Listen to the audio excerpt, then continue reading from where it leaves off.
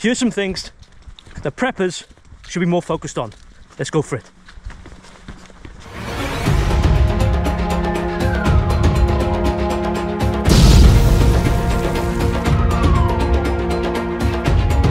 Hello, welcome back to the channel. Thanks for clicking on the videos and checking the channel out. You join me today, a little bit out of breath. I'm doing a bit of a walk. It's only a few kilometers, but it's up hills, down hills, rough terrain, road walking. Got a backpack on. It's probably about 18 kilo, 40 pound in weight, and a bit of training. So while I'm pushing on the walk, we're have a bit of a chat about what I think preppers should be more focused on in these troubling times. Right, so I'm to be blowing for a bit because it's uh, an uphill start. And I'll tell you why I'm doing this in a bit. So I'll fetch you back when I get to the top of this hill. Oh, a bit of a tough climb that is to start off. Right, what's this video about? Well, we live in troubling times to me. You know, there's all sorts going on in the world whether it's uh, Eastern Europe, the Middle East, you know, potential financial disaster looming. You know, there's a lot going on in the world, isn't it? Yeah, and with that, there's been a lot of interest in prepping, which is good. You know, it makes sense to a lot of us, doesn't it, to be prepared. Oh, another car coming now. So this video is just my take, what I feel like preppers, whether new or old, should be more focused on. Put the attentions to the best use. Now the first one being ignoring the hype. And what do I mean by that? Well, with all these things going on in the world, um, you see it over and over again. A lot of these prepping channels out there. You know, I won't mention any names, but there's big ones in America. or farmers coming. But yeah, it's a busy road today. Oh yeah, you right? Right, what was I saying? Yeah, prepping channels. Loads of them about, which is good. It's good to get the message out, isn't it? Um, but there's a few there, really well known ones, especially, like I say, in America, Canada, and there's one or two in, in the UK here that they're overhyped, I think. They just they just push fear mongering. Now they say they don't, but you look at the, headlines of the videos, thumbnails, it's alert, alert, do this now. UK preppers, you're uprising, do this now. It's all doom and gloom, isn't it? It's no good to anyone, in my opinion. Oh, bit flat now. I might jog for a bit. Enough of that. And a lot of information they're giving out, it's just the same old message over and over again. You know, the latest one now is oh, the electric's going to go off this winter. Are you prepared for the electric to go off? You know, the government's going to do this, government's going to do that. Yes, we have electric off, we have electric off all the time, and especially in the countryside, especially for storms. But you just deal with it, don't you? You know, if you're prepared, you can deal with it. Make sure you've got these things because there's going to be a blackout. Yeah, we've saying it over and over again for years, and not much really happens. But it sells, doesn't it? Now I can understand why they do it because views makes money, doesn't it? So it ups the views, gets the subscriber count up, you know, and good luck to them if that's what they'll do. And I say if it's their only job, if they haven't got a real job, then yeah, that's what they need to do to get money in, don't they? But I always think, where's the value for money? If it's good, solid information, then you don't mind paying, you don't mind chipping in.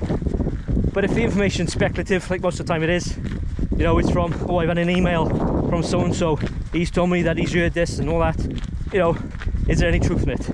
I know a few of them have been caught out before pushing these videos, um, especially in the UK, and not verified, and it's turned out to be totally bullshit. You know, but it's too late then. They hooked you in, they got your money, and that's it, isn't it? So without going on too much about it, all I'm saying is, yeah, get informed, make sure you know what's going on in the world, but just don't get hooked in to the hype. On a bit of rough terrain now slow me down a little bit. Right, so that was my first thing. Really is, um, I think I got five altogether. Is don't believe the hype. Yes, be informed, but don't get suckered into the, the same old stuff over and over again. You know what I'm on about. So my second point of what preppers should really focus their attention on, I believe, is getting skilled up. So what I mean by getting skilled up? Well, learn some skills, skills that might come in handy, you know, if the time ever comes. Now, skills could be car maintenance, could be home maintenance, it could be survival skills, you know, bushcraft. All them skills are available, different courses all over the UK, and knowledge is key, isn't it? You see a lot of prepper channels out there where they're just showing what they've had from the shops. You know, they've gone off shopping for the day to the supermarket, and look, everybody, look what I've bought today. This is my prepper haul. They got X amount of tins of beans and and whatnot, and they go through it. It's is all well and good, isn't it? Yeah.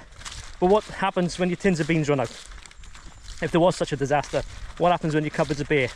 Have you got the skills, the knowledge to carry on? You know, to, to keep surviving, feeding yourself, keeping yourself warm, dry, and your family, isn't it? So skills, I think, are really important. And when it comes to preppers, prepping out there, the channels, you know, claiming they're survival experts and whatnot, no one is an expert in prepping unless they've lived through an SHTF situation or they've been in a situation where they need them sort of skills. They've learned them, practiced them, or they've got experience. And just because you've been prepping for 10, 12 years, you know, got a cupboard full of food and you've got all these all this kit, it doesn't make you an expert. And yes, you might go camping one night, you might spend a couple of nights overnight in the woods, you know, in your army gear, under a bit of a shelter and cook yourself a meal and whatever. That does not make you a survival expert. So if you are going on courses, make sure you go on the courses where the instructors and the course organisers, they know what they're talking about. You know, they've got the experience, they've got the qualifications, you know, they've got years and years of doing this sort of stuff um, in real time, or in, in uh, real life situations, I should say. I'm not going to push the courses we do at the bug out um, with first in events, but I will say they do some fantastic courses and I'd say more realistic courses. Yes, you've got your bushcraft and survival courses, they're brilliant, you know, if you're into that sort of stuff, um, prepping, bugging out, but they do really good practical courses as well. Your navigation courses, your first aid, you know, outdoor first aid, really important skill to learn. So if you had someone there, phone's ringing now. Yeah, bloody phone interrupted. Yeah, and what was I saying? First aid skills, yeah. Hang on, let's get through this gate yeah so if you were so when it comes to prepping first aid really good important skill to learn isn't it you know if you're bugging out and you're out in the wilds or if you're bugging in and you're home at some point someone in your party or yourself could be injured and it could be serious could be life-threatening so it's always good to know first aid skills and not just your basic first aid but a really good course to get on is an outdoor first aid where you deal in proper trauma you know and injuries that you're more likely going to face if you're out in the hills or even at home. I'll put a link below, um, available courses and dates and whatnot. Myself, I've been on one of them courses uh, last year. Really good course, credited, so you get a qualification as well. Bit downhill now. Another really good practical course, or skill to learn, is navigation. You know, if you are thinking about going out in the hills, countryside, learn to navigate. Don't rely on your your gadgets and gizmos because uh, the time you want to rely on them they don't work or the batteries run out or whatever it is. So learn to use a map and compass especially if you're out in the hills and the weather turns. You know cold wet the last thing you want to be do is lost. And then uh, yeah it becomes a life-threatening situation again then isn't it? You know bit rough in the foot here right we've another uphill section now really steep so yeah skills if you do get yourself on courses get yourself skilled up don't forget to do refreshers because these skills, navigation, first aid, you know, no matter what course it is, they are perishable skills, so you do forget if you don't use them. So make sure you go and refresh your courses as well. So that's it. Second point, you see me, the sun's real bright today, is get yourself skilled up.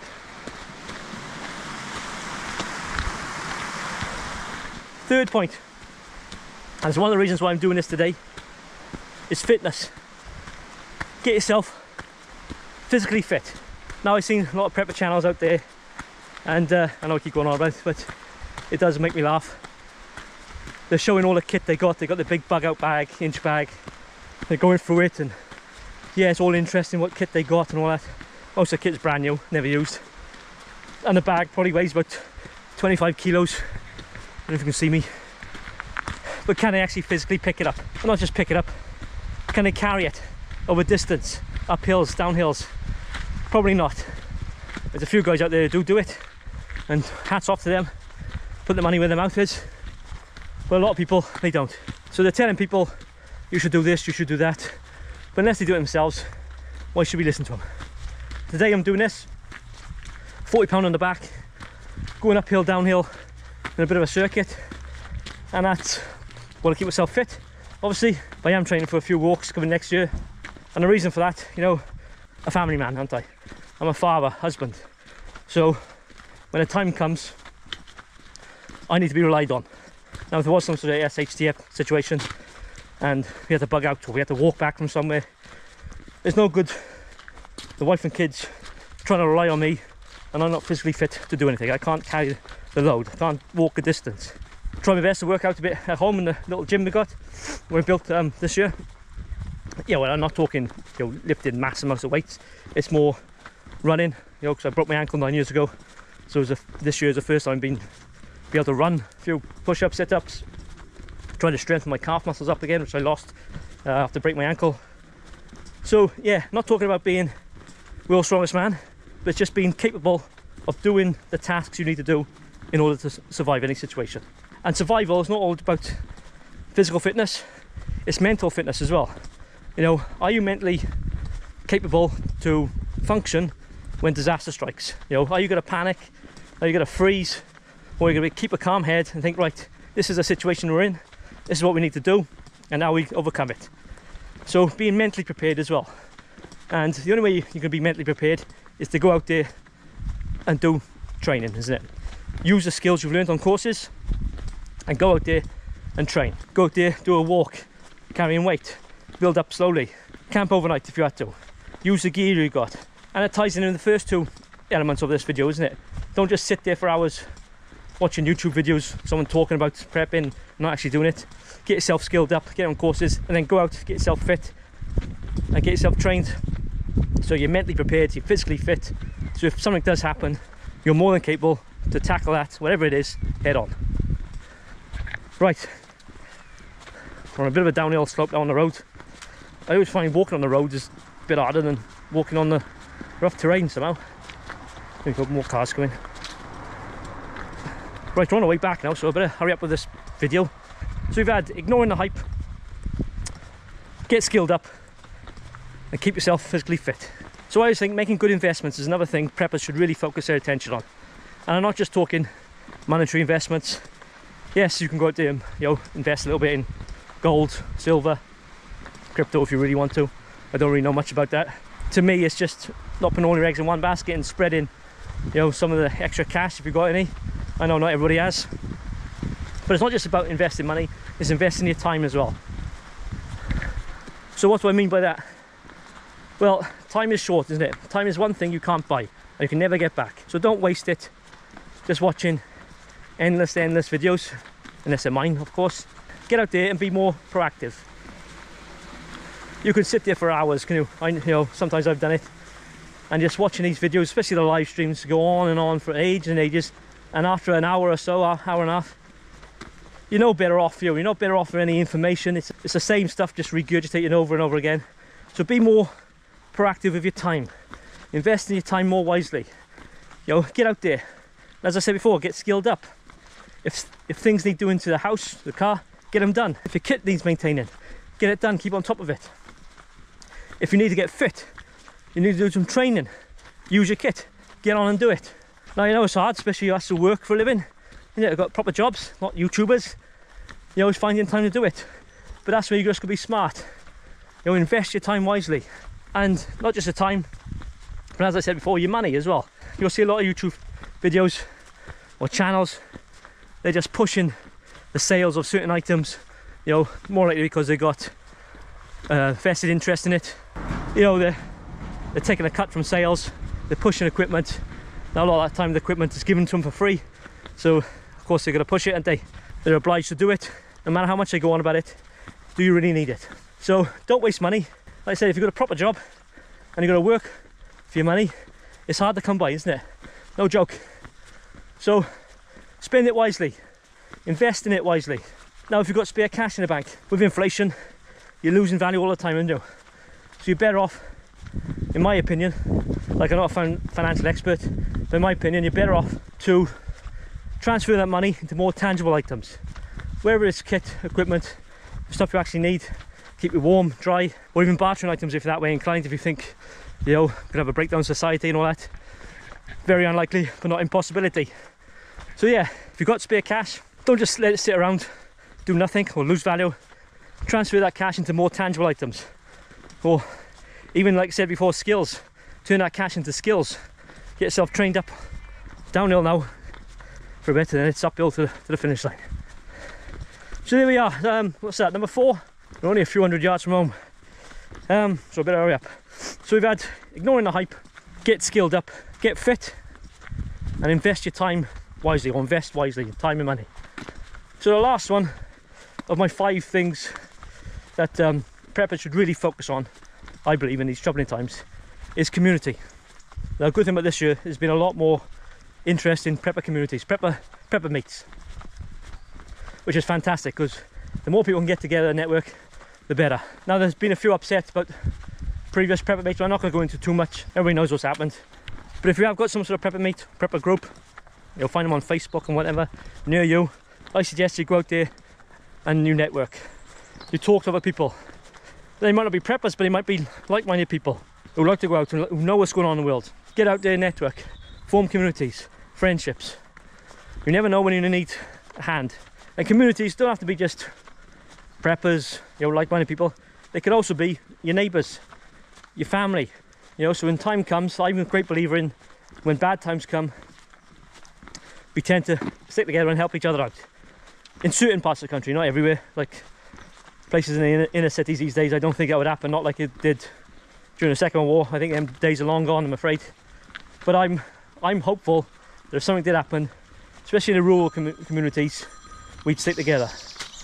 Who's on the phone now, man? Right, we are always like, yeah, community. Now I have the bug out weekender, uh, just gone. That was fantastic. You know, get a group of people together and um, we have a bit of a laugh, a few talks, you know, for a walk this time. But most importantly, it's about networking, you know, forming them communities, exchanging details, you know, exchanging ideas. Human beings have evolved in groups, haven't they? You know, we haven't evolved like a one-man army, Rambo style. We've we've evolved or survived and and thrived in groups. Oh, last push now. Got someone at the shop waiting, even though it's closed today. So uh, can't miss a sale. I've got to push on and see what he wants. Oh, here comes the kids on the bus.